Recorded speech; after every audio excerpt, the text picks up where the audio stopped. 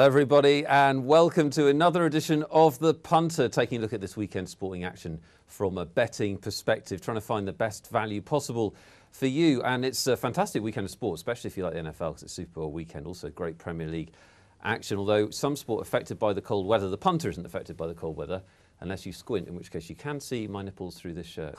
Uh, got a great panel of experts for you as ever. Standing in for Russ Wiseman from Sporting Bet, Chris Graham. Chris, welcome aboard. How you doing, Nick? Yeah, I'm very good. How are you? Yeah, good. Dan. Nice to be here. Um, Russ is up in Leeds today, uh, sorting out the shambles that have been created by Ken Bates Sha- uh, sacking Simon Grayson. Appalling decision. And Russ is the man to sort that out. Yeah, yeah. I'm we, sceptical. We, have got, we've, we've got him at 40 to 1 to be the next Leeds manager. I think he's trying to pitch his cause there. Every chance. Uh, well, welcome. Uh, enjoy yourself. We look forward to hearing from you. And uh, Neil, how, how's your week? Well, actually, look, champion trainer Paul Nicholls. He's uh, he's talking about how uh, this legend is back to his best in the build up to the Gold Cup. February for me is the build up to Cheltenham, and I am back to my best.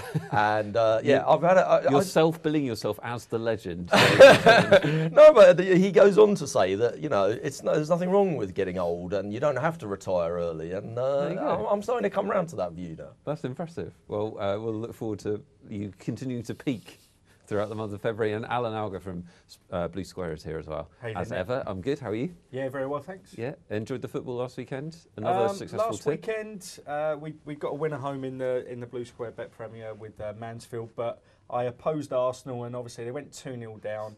Um, Oh I God, get- Alan, I- what are you trying to do to me? I, I did get out of the position a little bit because I actually thought they were on top during the game. I didn't get out enough to make it profitable, but Okay. um, I, I just think that they just capitalised on that good spell of Uh, pressure. But People that are new to the punter may not know that you're an Arsenal fan, but you constantly oppose them, which well, is we a got lot the, of fun. we got the money in midweek as well, so um, we- I managed to claw back some money in midweek by opposing them at Bolton, and we'll continue to do so until the market gets it right. I must admit, we had that long conversation last week though about how it's great value when a when a really fancied team goes one 0 behind to be on the opposition team. Mm. I thought I had some of the best bets I've had in the last twelve months backing Villa when they were one 0 up. Yeah, But, uh, yeah.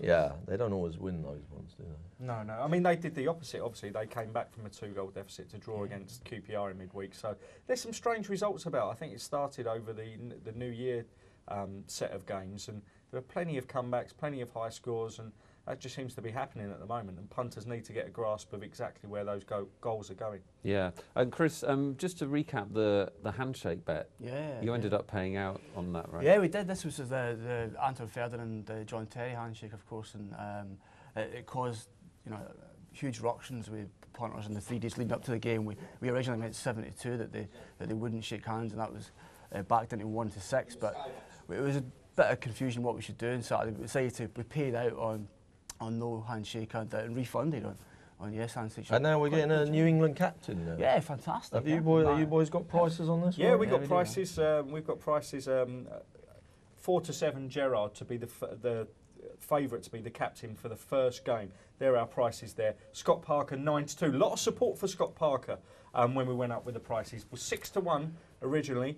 Um, Gareth Barry was only five to one, but they flip flopped as second favourites there. And Scott Parker. I, I, I could fancy him there because I just think that he's the one that's guaranteed to be on the pitch for the majority of the games. Um, obviously, Rooney can't even be quoted because he's not he, he's not eligible for that game. Obviously, he would be a certain name I've, on the team I've got a test to try and discover who's going to be next England captain. You just put England's brave in front of the name, whichever sounds most likely. Chris, where are, you, where are the sporting bet prices on this? We were, we were six to four in Jad this morning when I got into the office. I think we're now, we're now one to two. But I agree with Alan. I think Scott Parker's a good shout. I, I just think overall it's it's pretty embarrassing, isn't it? What's happened here? The fact that this man was stripped of the captaincy two years ago, then it was given back to him, which was hugely controversial. and at the re-stripped. And It's re-stripped. like being that. a substitute I mean- being subbed. It's- yeah. I mean, worse still, Ferdinand coming out saying that he doesn't want it by default. So he was uh, 10 to 1 chance, straight out to 16 to 1 off the back of those comments. I mean, not wanting to captain your country. I know the circumstances surrounding it, people could say that obviously if he's pushed his brother into this prosecution of Terry, he's somehow the architect of all this happening in the first place. And maybe he doesn't want to benefit from that. But the fact that we can't find one and, and, and we're scratching around and Fabio Capello's got to then take a squad that's been affected by outside things to go and win this tournament. I mean, the, the, the more important thing is the England price, and we're out to nine to one England. Oh, really? That's that's big for off a the major. back of that. Eight, eight to one out to nine to one off Yeah. the back of this. Shambles. Uh, well, let's recap what else happened last week on the show because uh, Neil, you, your charity bet uh, hasn't happened yet, has it? Uh, no, but the, I, I tipped up the uh, the artist director, uh, the one who uh, no one can pronounce, Hazanavicius. That's exactly right. Um, he's uh, he's now four to one on to be the best director, so uh, I'm quite happy so with actually, that. bet. a fantastic value bet. Yeah, I'm already. wishing I'm wishing we'd have had a bit more on for the kids now. I mean, couldn't they have, couldn't they have had fourteen hundred to win eight or something? I mean, can we couldn't we have used three weeks' money? Yeah, we don't try and get out the whole with the kids' charity money. That's not that's not what we do. I was thinking the kids might want to hedge with the. We'll take a poll. I mean, the movie's now the artist as a movie is now five to one on to be the, the best movie. So, so um, they've moved closer together because you said that Yeah. you couldn't understand why they were apart. Well, the in artist was best. the artist was two to seven as best movie, and he was four to seven best director. Yeah. So they're both shortened, but uh, yeah, presumably uh, all the punter viewers have all run out and had their five hundred on at four to seven. Well, that's what you're so good at, and that's what all the good professional bettors say at finding little anomalies like that where there's a difference between the two prices.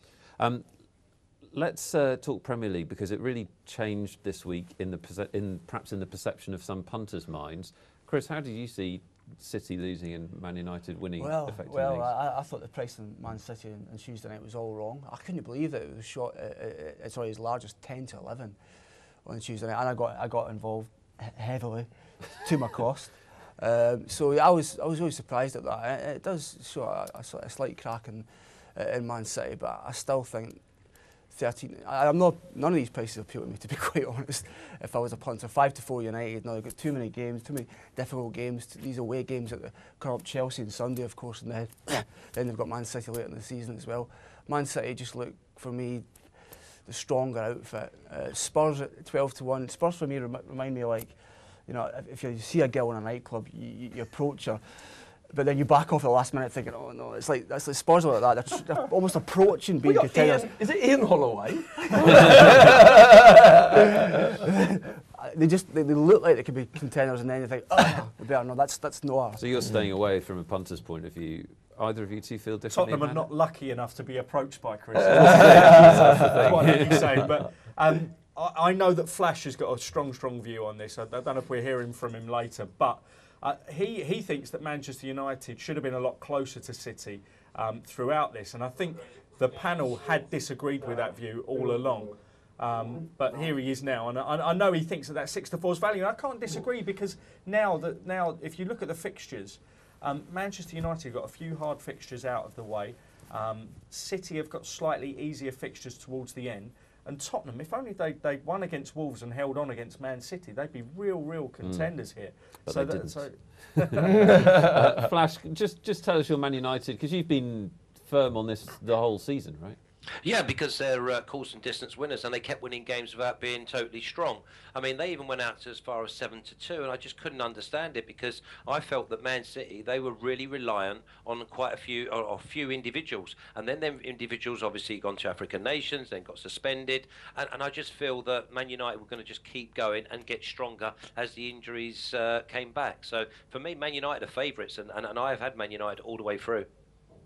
Interesting stuff. Uh, the gap could open up on, on Saturday. I mean, you got Yeah. you got City at home to Fulham, and then United have got one of their few remaining tough games to negotiate on Sunday. But I, I think that they'd be quite happy with a point, and as Flash says, let it go to those games towards the end of the season where they're renowned for those back-to-back wins week in week out. Okay, uh, we've also got, uh, as ever, Nigel Sealey, the betting butler, with us, and we'll get into his football expertise a little bit throughout the show. Uh, Nigel, what's your view on the title race? Slightly differing views here. Uh, I, well, I think that uh, I've always thought that Manchester City were the team to, to beat all the way through, and uh, I, there's nothing that's really changed my opinion of that. I think they've got the best squad. I think they've got the best team. Uh, the only thing about it is Manchester City probably have the best managers. So um, I, think more than two of them keep keep taking uh, points, dropping points. I still think Tottenham are back in the mix. I said two three weeks ago that I thought they would probably be out of the mix, but uh, what I saw them on uh, Wigan and on Tuesday, they were exceptional. Gareth Bale was virtually unplayable. So I still think Tottenham at 14 to one out of the three options maybe look look to be the most uh, the value because I think the Manchester United, Manchester City could definitely drop points on the running. Tottenham have got this hard run of fixtures over the next three or four games, and then they've actually got an easy run in. So, from a betting point of view, would that make you more likely to take them now or more likely to if you if you're interested in them, or more likely to wait and see what happens to their price? Well, I, I, I don't think, and that sounds an old cliche, but I don't think there is anything as easy fixtures. I mean, you look at Everton, the way we thought that was an easy fixture. You look at some of the points that Manchester United have dropped. At this stage of affairs, I think they're all very, very tough. And, I, and I, I'm not a fan of looking at fixtures and saying, oh, well, these have got easier ones and these have got harder ones. I think they're still at the bottom. And you've seen from the, the Premier League this season that anybody's capable of anybody on their day. I mean, Blackburn have beaten Manchester United. I thought that was an easy fixture. So I, I just look at consistency, and, and I think Tottenham are probably the most consistent. If I was backing all these teams short odds on every week, I think Tottenham would be the one I would back every week because they do do a number on these teams. A barring against Wolves a couple of weeks ago, that was the only time that they actually slipped up. And, and I, I, I still think that, you know, they're only 14 to 1 because they're, they're, they're Tottenham, they've got a history, and they're not, not in this position. But uh, what I saw on Tuesday, that they, for the first hour, they, they, they looked absolutely awesome, and they're the team playing the best football and the best quality. And, and regardless of what's happening off the field with the manager, I, I still think they're a, I still think there, there's a long way to go here, and I think Manchester United will drop points. I think Manchester City will drop points, and they could just sneak up on, on, on the radar. See, Chris, Nigel's actually going up to the girl. He's buying her a drink. He's, he's got. He's got. He's, he's, he's getting his reward. Definitely, you like to think at the end of the night. No, I love Tottenham. For me, they're the story of the season, and I would. I, I don't support any English team, but I, I would love it if, if, if Tottenham won the league. I think they're a breath of fresh air. They're exciting. They're lovely to watch, and I think for me, they've been the story of the season. I just feel they're just not quite good enough. To So wait, so wait, but you're not English. yeah, Yeah, yeah. but people people assume because I live in London that I must support a Premier League team. I don't. Okay. you don't have any bias towards a Premier League team at all. Um, Sir Alex Ferguson, obviously, a fellow There you go. Scot. I knew. I knew there'd be something in Well, there. it's, it's interesting you mentioned Sir Alex Ferguson because um, this time last year, I think four or five teams were, were maybe in contention for the Premier League title. There was a great article in the Racing Post by Bruce Millington, and he judged the strengths uh, of each team and then said at the end, if Alex Ferguson was managing any one of these five teams, I'd want to back them for the title. They're all in varying positions, but he just said it come down to the manager because they were that close together, and he was proved right by that. And I think that that could be the factor here. You know, Mancini saying in, in midweek that he didn't prepare correctly for Everton. I mean, I mean that, that's a crazy thing to say when you've got bosses that have uh, pumped in as much money as, as his bosses have. Um, and then obviously you've got um, I felt like maybe he was protecting his players, and people kind of jumped on him. Really? Well, I, I sort I of. just was, don't I was think just you say thinking, I anything think like he's that in quite, public I unless think you're he's quite, defending your players. I think he's quite doesn't intelligent man, though, and I just sort of. It was such a weird thing to say. I thought, I wonder why he said that. I wondered if he just he didn't doesn't want have to answer that question though, does No. he? In that way, I mean, No. he could have easily steered it away from from both of those angles, whether it was was his players or his own preparation. Obviously, Tottenham have got their own troubles. I think Harry Redknapp's going to have to get on a flight up Yeah. to Liverpool to even be on the bench um, uh, for their game on Monday. Um, and then you look at Chelsea. I mean, Villas Boas coming under pressure from Mourinho in the, in the papers today. I mean, they're, they're 66 to one, so you know they're not even title contenders. So Mm. the real course and distance form is with Alex Sir Alex Ferguson. And he When you gets said get out. on a flight, I was expecting you to say to Northern Cyprus or a country without extradition treaty. Brazil. I don't think he's trying to escape that much. no, it's not that bad. Um, okay, well, that's an overview of the title race. There's some fantastic fixtures this weekend, as I'm sure you know. We'll get into them match by match and try and find the value for you after this break.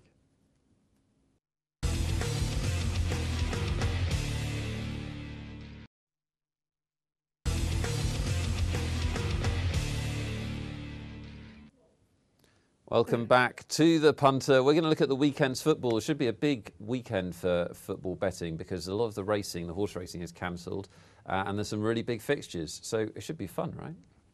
Especially Sunday. Yeah, especially Sunday. Um, if you like your NFL and your football, then Yeah, you, you're laughing. You're uh, you're locked in on Sunday, Yeah, definitely. yeah, I'm there for sure. Um, let's start with uh, Chelsea Man United by dint of it being the biggest game in quotes. Uh, Chris, how do you see this one? That's a tough one, isn't it? A really tough one. I think as a punter, it's tough, and I think as a compiler, it's tough. Fair play to the odds compiler, something to price this one. I wouldn't know where to start really. Huh? Uh, but we we're, we're just Chelsea narrow favourites. Uh, despite the fact they've only won two and eight, Man United have been really strong away from home this year. The stats point to Man United to get the three points here, but it's just something just a gut feeling I've got. So, you know, I just think Chelsea will get something for this game. Andre Villas-Boas, obviously under a lot of pressure at the moment. Uh, he can't afford to lose this game. I, I, really, I really sincerely believe that. I think if you offer them a draw right now, he'd take it.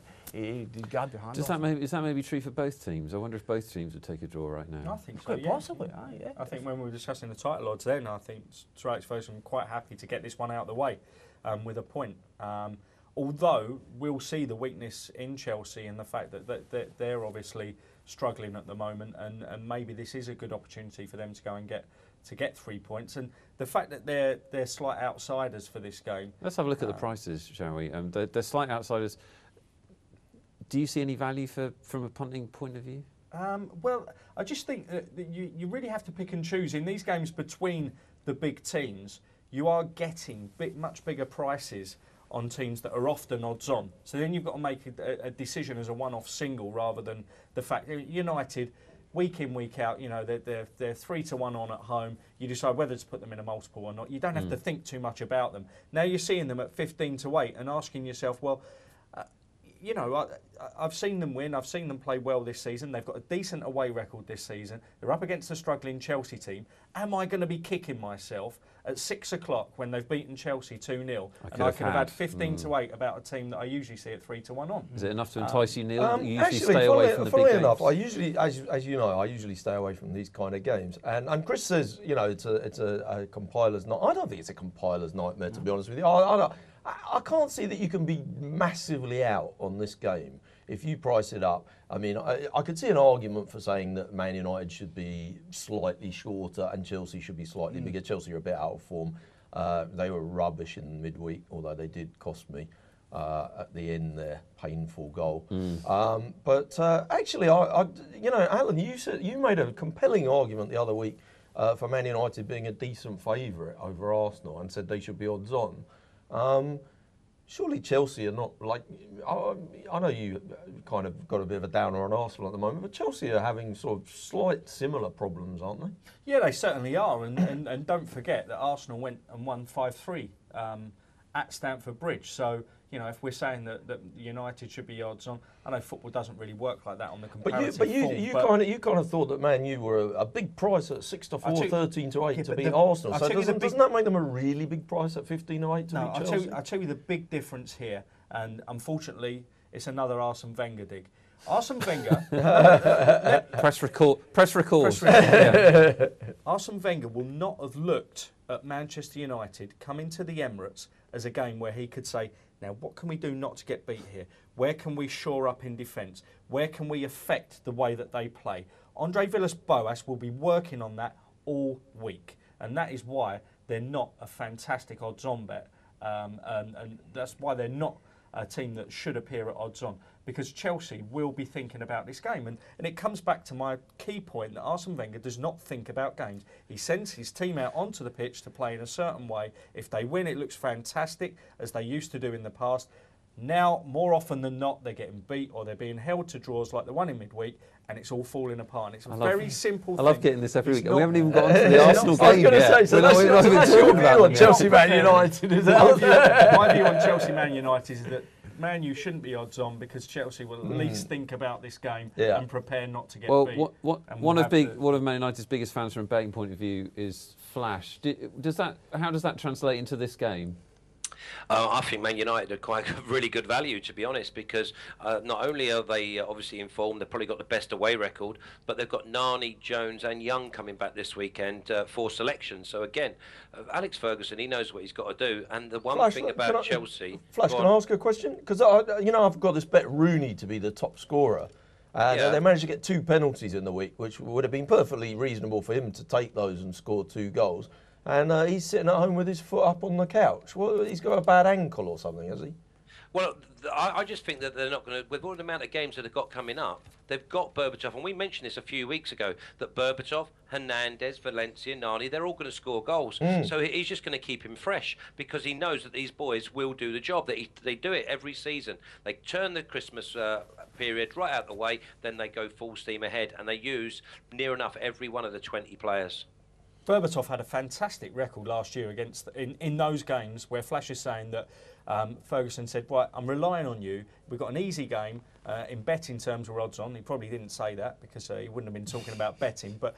We're, you know, we're odds on to win. This is an easy game. Come in, score your goals, and let me prepare for the other games. I mean, they got to the Champions League final off the back of that. Um, and Arsenal, in contrast, have got 19 goals. Robin van Persie, or um, could have been 20 in midweek, but he hit the bar twice. But the next person's on four. So that Yeah. shows the quality, the difference in quality and, and what they've got to rely on. And I, I think your Rooney bet's a good one, but I think you are relying on his selection a lot. Oh yeah, he's got to actually play, otherwise it gets to be Yeah, a that was of a good really bet. Two penalties.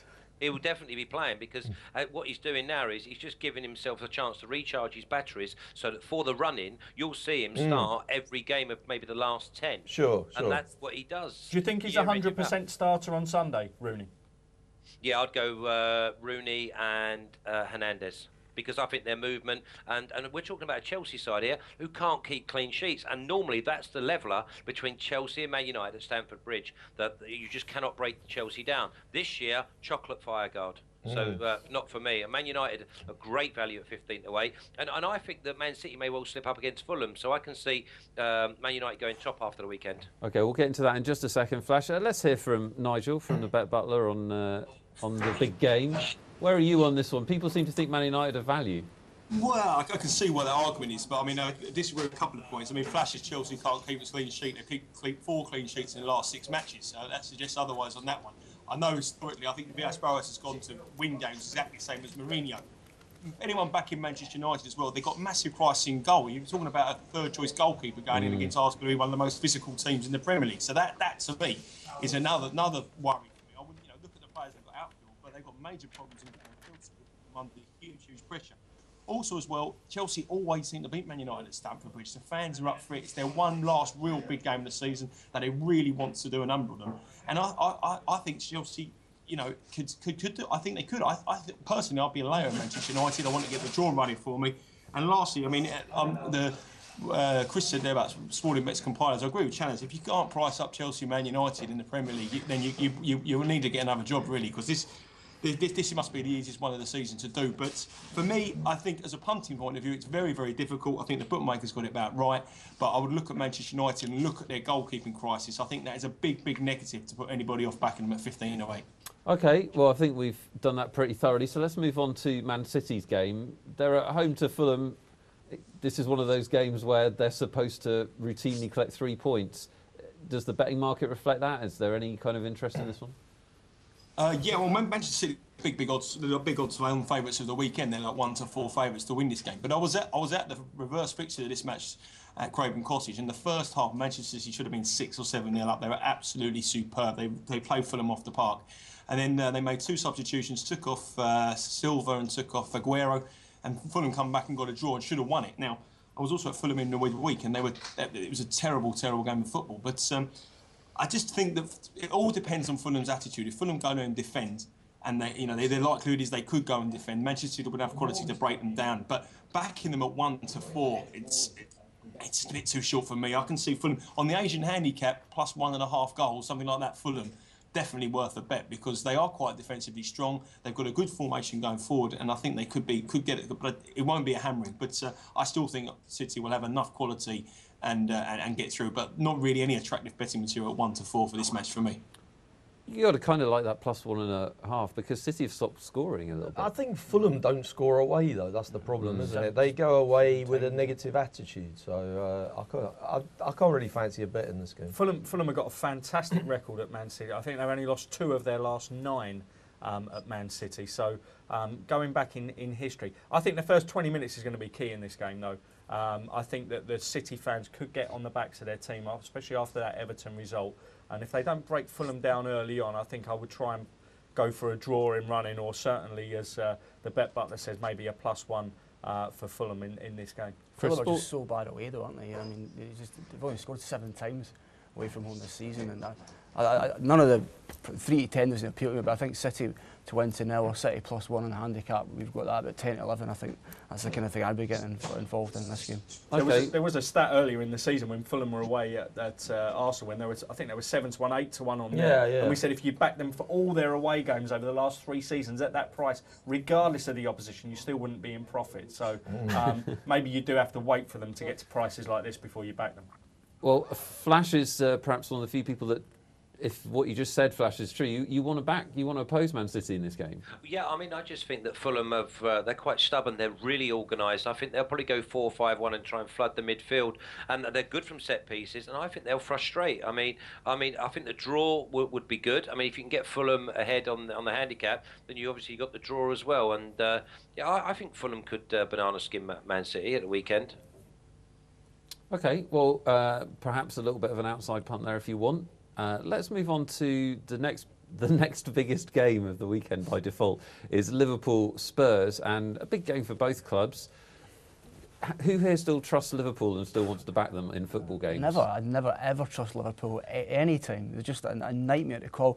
I mean, we've got them at 11 to 10. No thanks. I mean, it's just how could you back Liverpool 11 to 10 at home to Tottenham? Uh, just always seem to do the opposite you expect. You know, they'll sometimes play, play well against the big sides. Um, perform poorly like we saw against Bolton and stuff like that. They're just a nightmare to call and a, a punter's nightmare for me. Spurs, I think, are a, a decent price here, definitely for what they've achieved this season. I think they should be they should be shorter. My, my, my head, my heart says Spurs. My head says the draw.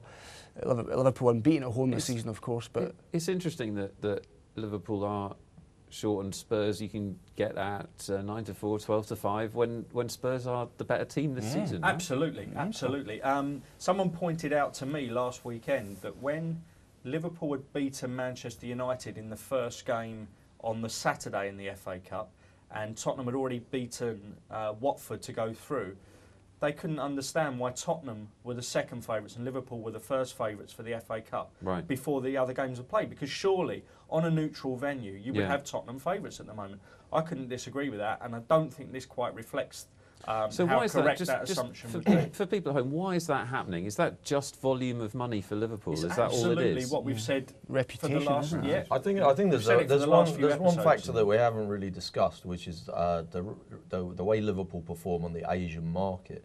Uh, I think the the two uh, biggest gambling syndicates that have an effect on the Asian market uh, are run by uh, the owner of Brentford and the owner of Brighton.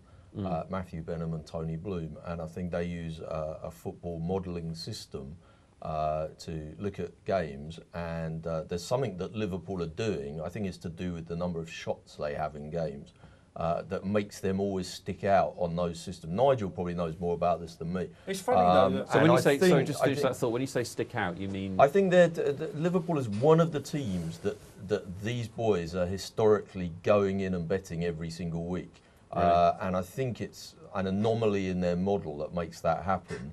Uh, and they seem to be heavily supported on the on the Asian handicaps every week. I mean, it makes sense on the basis that um, they they've hit the bar more times, uh, hit the post and hit the bar more times than any other team at home. They've had goalkeepers that have played against them out of this world at Anfield this season, uh, and had lots of man of the match performances. And I know that they just tick off chances for teams. They just base their punts on chances for teams either Right. way. But it's very strange that you mentioned two of the shrewdest people in the market at that end, and also the fact that Liverpool are the sort of uh, the, public punters. team. Well, they public also- yeah, you're absolutely so you've right. Got I two mean, spectrums betting on Liverpool So that brings and the, that just brings a, people in the a, a weight of money. Well, so that's I just, another- need to, I just that's want to bring Nigel in on this uh, I- now, I- just get his perspective. Nigel, what do you think about this idea that statistically Liverpool have underachieved a little bit?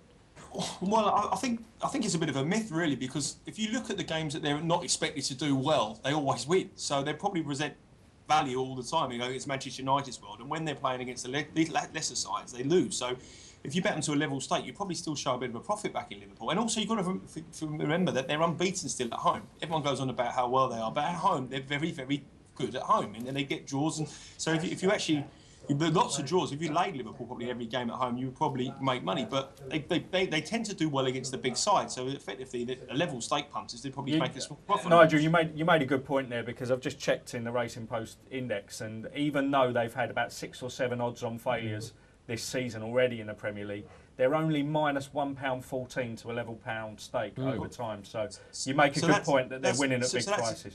So that's what I mean. That's why I think the guys in Asia you spoke about there, why they look at them because they always are. If they do lose, they're always in running. They get back to they can get out of a profit. They can trade out their position because the, the sentiment is always behind them. And when they're probably in position when they're underdogs, they always do well, which gives gives you the upside. But on this game as well, the big factor is well, Suarez is back. It's Manchester under under the under the lights at Liverpool on a Monday night. You know, it doesn't really get much tougher than that for Tottenham. But saying that Tottenham are playing well, I think it'll be a belting of a game and I could see it being a, a draw or something like that. But I mean, again, Liverpool, however much we keep saying about them, they are unbeaten at home in the Premier League, and they are a very, very tough nut to crack at Anfield. Yeah, uh, if we can get a price on Spurs bottling it, I'd like that because that's always worth a fiver. But let's Um, not forget Spurs won 4 0 as well in the reverse fixture. They did, but we weren't trying, Chris. Um, definitely true. Um, Nigel, take us into the other televised game, which is perhaps the most interesting, or the, uh, well, one of the most interesting betting games, maybe Newcastle Villa. Uh, just because maybe it's close, or maybe Newcastle might be slightly overrated right now. Well, you say that. I mean, I think they're I think they're overrated because well, the market seems to be overrated them because of the players they've lost to the African Nations Cup, but they're Yeah. all back. They're, they've all come back now. They've all been. Uh, they, they really didn't perform out there, so they didn't, they're not exactly knackered, are they? So they didn't really do much. They Well, they might be too relaxed, maybe. I don't know.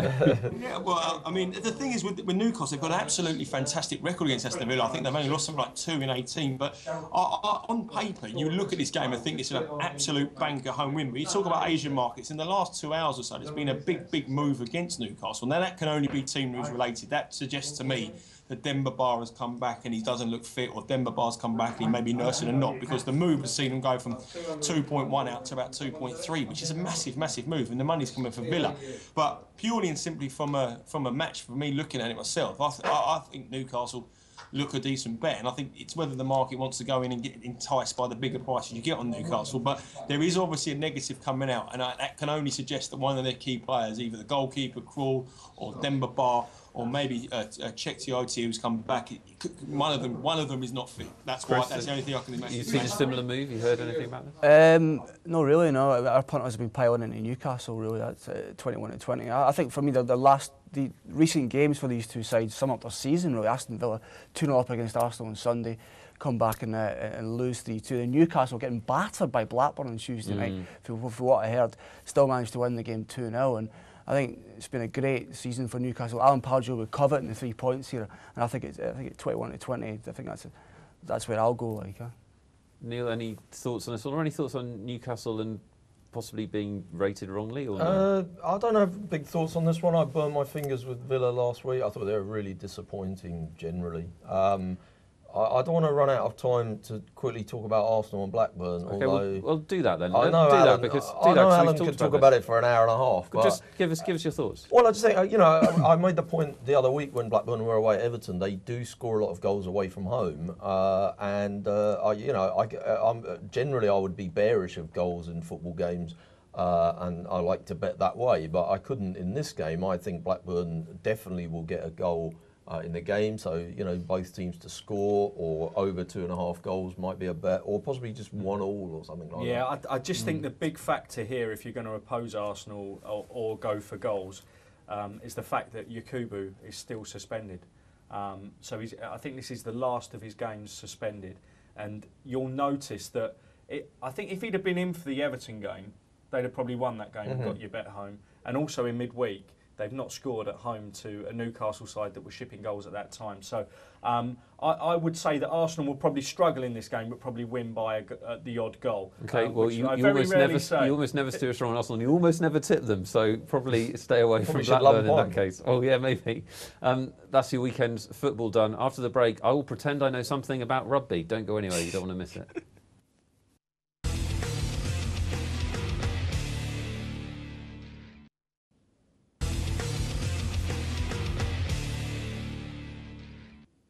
Welcome back to the punter, and this is a section of the show where we discuss legitimised, organised violence. Uh, first without pads, and then with pads. We're doing uh, rugby, and then the Super Bowl, of course. First of all, the Six Nations, which kicks off this weekend. And Neil, you were telling us during the break about, well, a pretty large investment somebody Yeah, I. I um, personally, I absolutely hate rugby union. It's the most stupid sport ever. Uh-huh. So many stupid rules, but I love gambling on it. What a great gambling sport! Um, now I have a friend who's very good at it. He he bets in all these, uh, you know, uh, Aviva Premiership and the Rabico Super Cup 20 nonsense.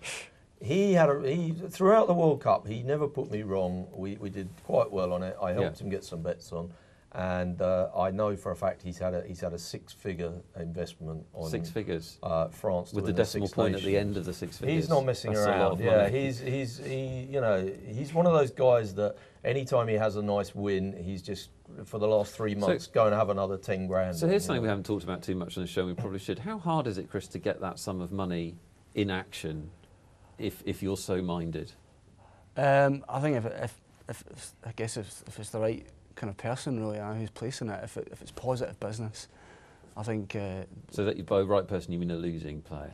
um, Yes. that was you. That's what you That's said. basically it. Yeah, I mean that is the answer. These guys might tell you differently, but yeah, if you're a, if you're a big loser and you get Would, sent would a you hamper would at you would you let Christmas, Neil can have would what you you let like. Neil bet a six figure sum? Would I hell? Well, there we Yeah, are. they, they might let me bet a six-figure sum on, you know, the Rugby World Cup, the Six Nations, the See, Football thing World is, Cup, I but think we not might- on uh, Fleetwood versus Nantes. So just explain that for people at home, Al. It's because the market's bigger and you can Yeah, hedge the bets. We, we had this discussion a couple of weeks ago, and, and I actually think that y- you were dead right in your assertion that if you want to come and have a bet on the derby with me, um, you know, every horse off for its life, and they're all trying to win a, a fantastic prize, and there's lots of other money in the pool, Mm. then we'd probably be quite happy to lay you 50 grand. On the morning of the derby, if I try and do it six months before, you wouldn't lay me Absolutely 30 not. quid. No, no, Yeah. absolutely not, because you've probably got an So- edge on the.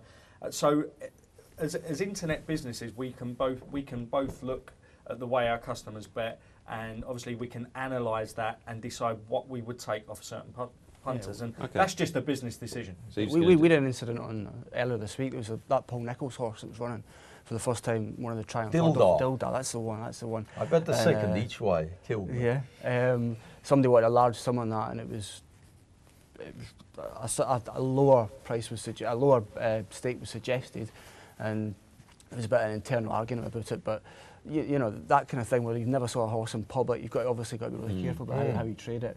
Um, so yeah. but you may have an information deficit, in fact. Okay, but let's just quickly look at the odds for the Six Nations then. This is to win the competition. Um, France are the favourites. Yeah, Blue Square's still best price there, 13 to 8. My friend's on at 7 to 4 and 13 to 8, and I think 6 to 4 is generally now. And I think the Racing Post tipped it today at 13 to 8. So Yeah, I, th- I think the way that we've shaped our market is that we want to be with uh, we want to be with England and with Wales. Wales off the back of money that we've already laid, and uh, and England is just is just the view of our trader that they, they can't be as bad as they were at the World Cup. Nigel, do you follow the rugby? Yes, I do. Yeah, I'm looking at it. And from, Um, from a betting point of view, how do you see the market? Well, I think France are obviously the, the rightful favourites over the World Cup semi-finalists and should have should have probably beaten New Zealand in that World Cup final. But uh, all the money for us has been for Ireland. We've seen an awful lot of people asking us to back Ireland at five to one into four to one. They didn't have the greatest uh, World Cups and they're without O'Driscoll, which is going to be a big test for them. But I mean, it, it's one of these things that England look at it sometimes, and I don't think they, they look at it. It's a, building process. They look at it. It's not really taking it so seriously as they would do, because they build up for the World Cups and they build up for the, the bigger competitions. And I don't. I think this was a tournament that's probably lost its uh, its passion as much as it had to do three or four years ago. But on the on the outright, it's all around two teams for us. We see money for France, we see money for Ireland. England totally friendless, and the last time they were totally friendless, they went on and won it. So that's a that's a bit of a omen for them. But on the matches, there's been an awful lot of interest on the on the matches, particularly the Scotland uh, uh, England game. As a complete outsider who doesn't really follow rugby, it just seems to me that with so few games, there must be a decent amount of variance involved. I mean, I'm not, I'm not sure. I'd, Well- I'm not sure how excited I'd be about betting six figures on it. It, it, it all depends on obviously on fixture list, obviously who they play away from home and at home. And it looks as though France have been handed a very easy, easy sort of looking set of fixtures. But what what happens in these games is that the last group of games are totally different how you bet them now because there's a lot of teams enough to play for. So on paper, France look like they've got the easiest task. But if um, if they struggle early doors, it'll be a lot lot different. But I mean, the Scotland England game, for example, I don't know if you want me to, to go on about that. At the moment, Yeah, go on. the, uh, Say, say a piece on that. We'll have a look at the Calcutta Cup odds. Same two teams in the final. Um, Well, this, this to me represents one of the, the best bet betting events of the weekend. Now, uh, Channers and I always like going on things that are under, where we always go against the public and look at support there, where we go against the I, trend. I, I agree with you. Uh, If you're going to say this is a low scoring game, I've got to agree with you, Nigel. I've already bet the draw at half time here, and uh, I think I think it's 6 3, 3 3, 3 0, nil nil at half time. That's You've the got- kind of score you're going to get. You- You've got your challenge. You've got the last 10 meetings they've, they've played. The- average points is 28 Mm. in the last 10 matches. They played in the World Cup as well and they scored a last minute try. Uh, there's, there's only been one game when there's been more than 36 points. That was the 38 points. So you can back under 36 and a half points at, uh, at 5 to 6 or 10 to 11 around that market. And also the draw in the match. It's been two draws in the last 10 matches between these sides, 10 to 1. Very low score and they'll kick everything. There'll be no, there'll be no, uh, be no tries in I, this I game. like the half time draw better at kind of 12 to 1 because they- they always start tentatively and sometimes it opens up a bit more in the second half. We've got the winning margins uh, prices up there. Anything It- there? It's a great. Also, there's also well, Chen, no try score as well. Ian. Yeah, yeah. That's another Yeah, another massive. 25 Everything to one. negative in this game. The weather the weather's going to be absolutely freezing. I'm It's with gonna- you. I totally agree. Al- Although I would just say I was kind of surprised that England are only two point favourites. I, I thought, if anything, I would have thought they'd have been nearer to sort of three and a half, four point favourites. But We've, we saw Well, I mean, they always struggle in this game. This is, it's, they, they always they manage to get through it uh, eventually, but it's always a very very tight game against the Scots up up there. And uh, I think it just comes down to a kicking contest. I mean, the, I, Hmm. the handicap I'd probably swerve because I just I, I think it could go anyway. But definitely under three and a half tries. Anything you got me. I'm there. I was. Yeah. I'm there with We're- you. we're negative I on agree. that I mean, there's a big thing. out. There's a big thing on the points because um, our line on total tournament points is 601 and a half. There's another bookmaker out there with 609 and a half.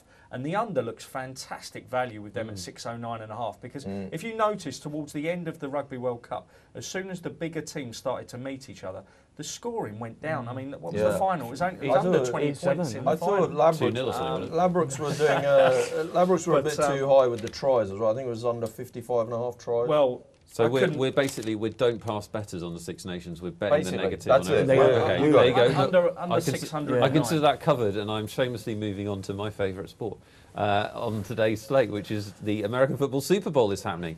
A massive, massive betting heat in America. Of course, not quite so big over here in the UK, but a ludicrous amount of money be wagered on this in America. And the funny thing is, of course, on quite stupid bets, a lot of it, um, as opposed to just like the win bet.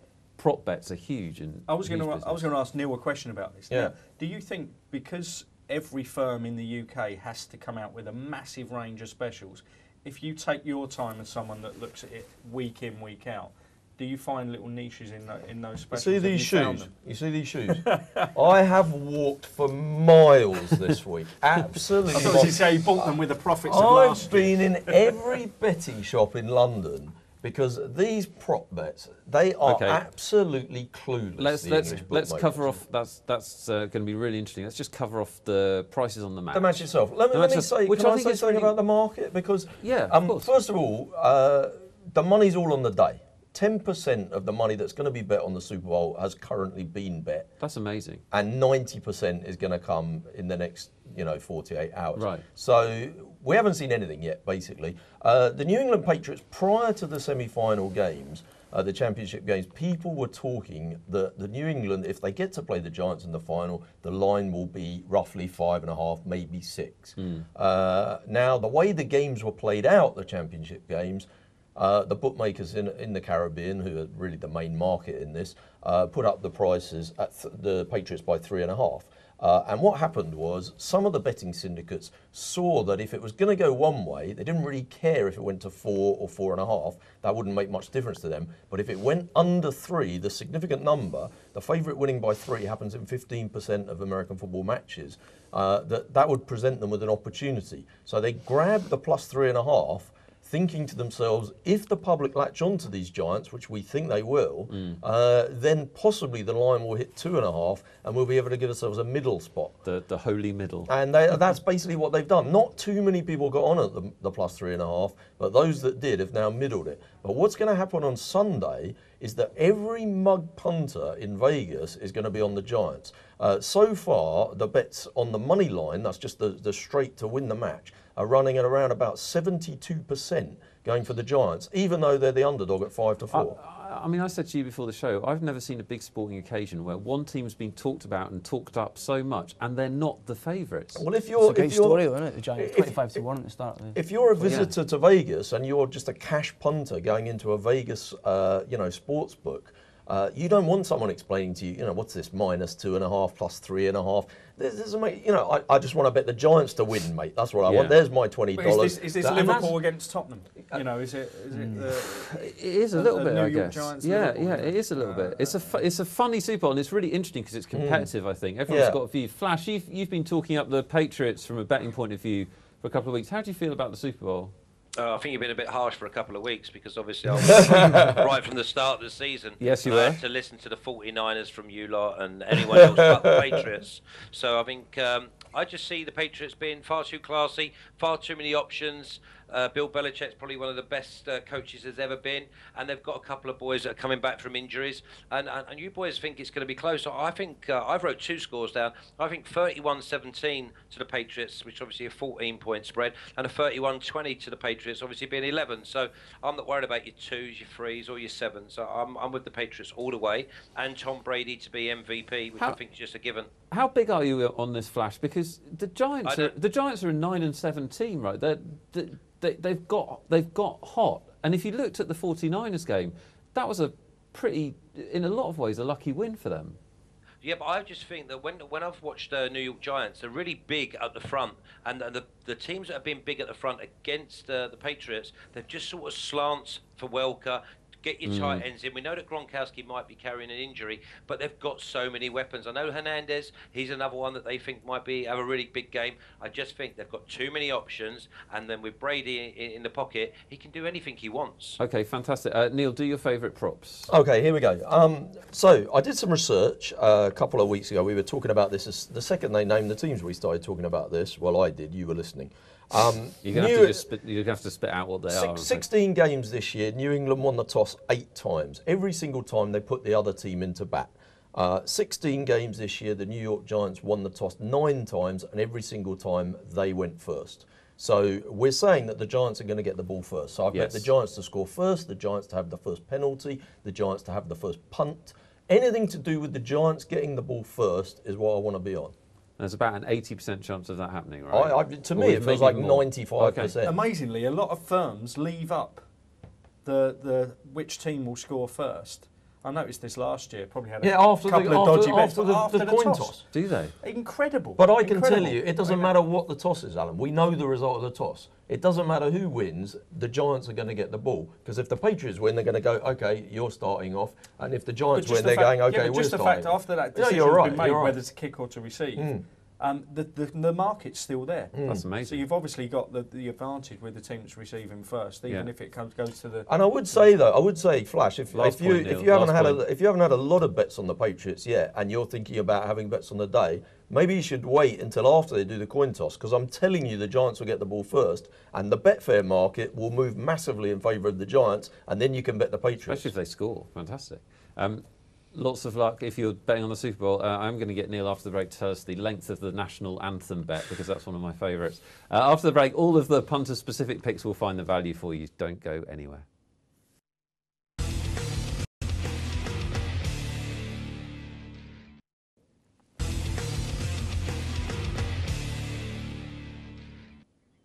Welcome back to the last part of the punter. We're going to get some specific picks for our experts right now. We'll start with Flash, Gordon Watson, and Flash's five. Uh, how did you get on last week? We didn't do that at the top of the show, Flash. Uh, four out of five. Um, yeah, one obviously let me down. But the, the worst thing is, it was one of my uh, more positive bets because Wimbledon were at home to Aldershot. Aldershot, I don't think, had scored in six games, and uh, Wimbledon went down. So, but the rest were okay. Stoke away at Derby. Stoke are quite strong, obviously in the FA Cup. They feel as if that's a way they could possibly get into Europe. Uh, Brentford uh, beat Wycombe. Shrewsbury won earlier on in the day away at uh, Hereford, and Reading beat Bristol City. So four out of five. Great stuff. Keeping up a really good hit rate. So take us into this week and your tips for this week. Okay, Queens Park Rangers. I don't normally go into the Premiership because obviously it is so trappy and so dangerous for uh, for the accumulator. But Queens Park Rangers at home, uh, Sheffield Wednesday at home, uh, Shrewsbury at home, and then I've gone for France to win the uh, Six Nations, and New England Patriots minus uh, three and a half or three, whatever it is. You've mixed So your it- sports. I like it.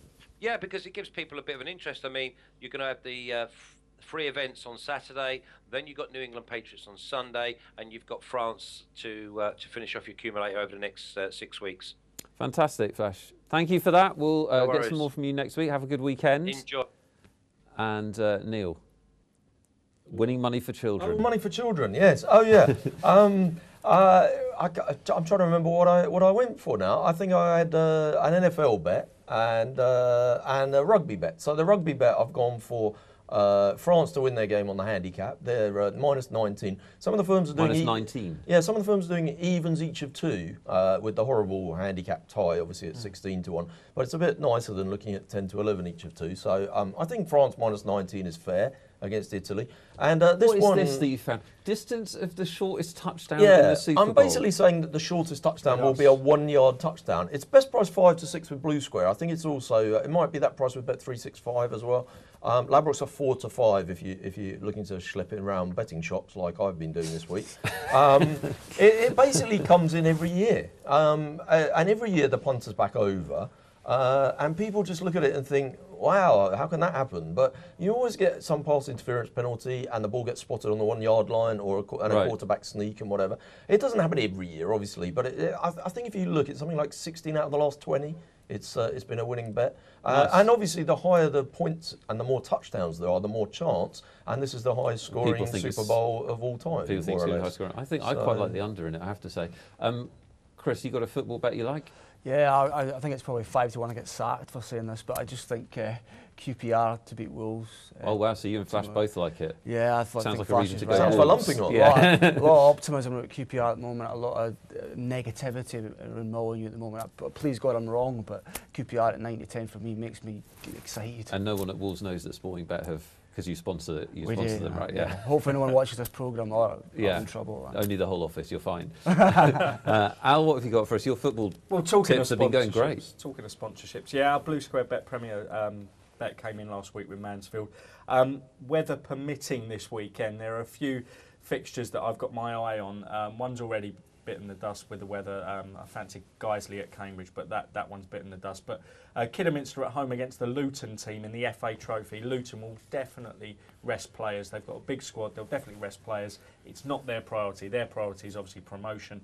Um, so 15 to 8 for a home win for Kidderminster is a very decent bet. Fantastic. And um, we've got our weather series, which is continuing powering the racing coverage throughout the weekend, which will obviously be uh, all the jumps You're gonna- racing. you're gonna save off. the day with some And, uh, racing. We're still refunding under a, beaten under a length in our sprint series, which is a crazy offer, absolutely crazy. We, we're shipping the money away because there's sprints at Lingfield where they're just blanket finishes like that. I think Great six, special. out- six out of the last four we've refunded. I've got 20 seconds, Neil. What's the national anthem length? Am I supposed to Uh, be going one minute over or under? 34. I'm betting under. Last year, the woman, uh, uh, I love this Christine bet. Aguilera, she got it. She, She got the out on the words wrong. Uh, She, yeah, she got the words wrong. People said she was an insult to the flag. So I think this year it's Kelly Clarkson. I think she won Okay. American Idol. So we're going- we're going under. She's going to get We're through going it over. quickly. We're going under. We're going under. We, under. we think she's I just need going to to get through that it clear. All right, my big thanks to uh, Flash, to the betting butler, to Chris, Alan, and Neil in the studio. Have a really good weekend. Looks like a weekend to wrap up warm. Uh, bet your nuts off and enjoy the sport. We'll see you next time on The Punter.